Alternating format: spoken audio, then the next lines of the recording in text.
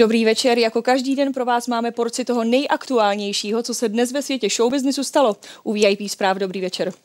Dvojici Evě a Vaškovi vyrostla konkurence. Natáčí jeden klip za druhým, termíny na koncerty mají beznadějně plné a jejich videa lámou rekordy ve sledovanosti. Už víte, o kom je řeč? No přeci o Katce a Jindrovi.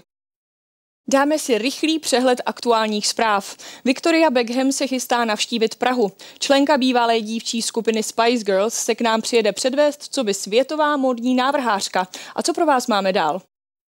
Oštěpařku Barboru Špotákovou zvětšnili spolu s dalšími třemi zlatými sportovci z letních olympijských her v Londýně na zlatých a stříbrných mincích. Do jablonecké mincovny se na tu svoji dnes přišla olympijská vítězka i s přítelem podívat.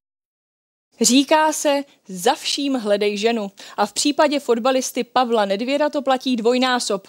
Jeho žena je mu velkou oporou. Slavný sportovec si je toho dobře vědom a při každé příležitosti to i zdůrazňuje.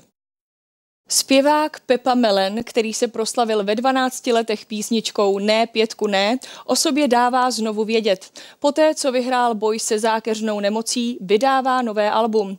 Zda zopakuje svůj úspěch z 80. let, posuďte sami. VIP zprávy končí, vy ale rozhodně nepřepínejte. Večer je teprve před vámi a s ním i seriál Cesty domů a Top Star magazín. Za celý tým se s vámi loučí Ivana Gotová. Zítra už se na vás těší lačka. Krásný večer.